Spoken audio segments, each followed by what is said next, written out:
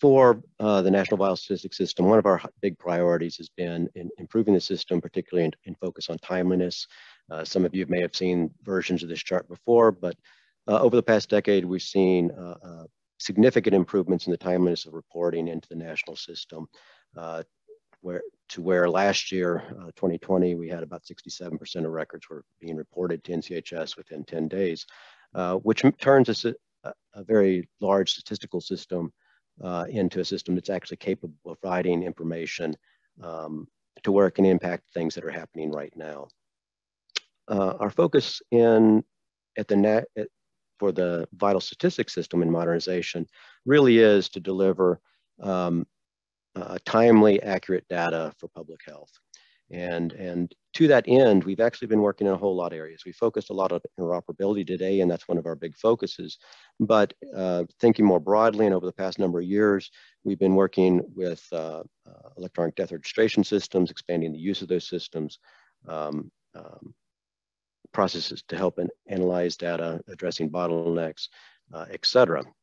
And all of these things roll into modernization. So I don't want to become overly focused on interoperability as the only focus of modernization, although it is one of our focuses now. Um, also looking at a figure that you've seen multiple versions of uh, today, uh, all of these blue lines indicate uh, places where we're actively working on modernization uh, today.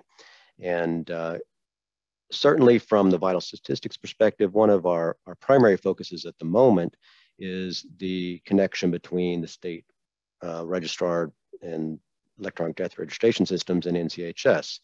Um, this FHIR standards are most mature there and, and we're working to uh, stand that up into production uh, in, in, the near future. However, you'll note that other activities are already ongoing. All these blue air dot are in lines around the um, medical examiner and coroner's office and uh, shows the central nature of those and the importance in the overall system and how important it is uh, uh, the data that is provided there into uh, what ultimately ends up in the National Vital Statistics System.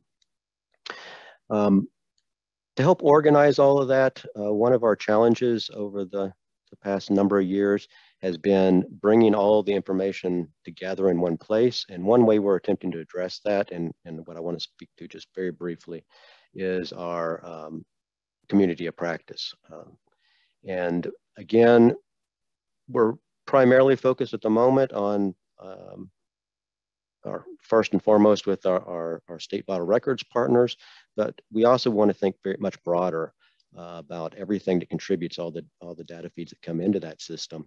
And the community is actually built that way as well. It's not just about uh, registration of records, but all the information that flows into that system, including the medical examiner coroner systems as well.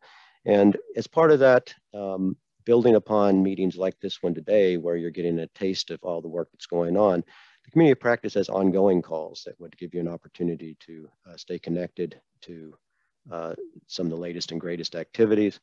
Um, it offers some opportunities for office hours for technical support and other resources. And uh, I would point you specifically to the web page at the bottom to get more information about what the community practice could offer you.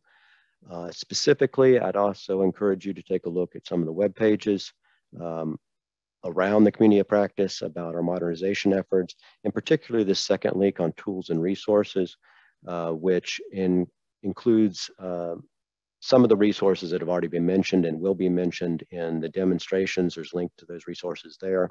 Um, but these are very valuable sources and will continue to be updated uh, to help provide a connection uh, to all the activities that are going on and allow you to, to focus on and pool those resources that meet your needs uh, most,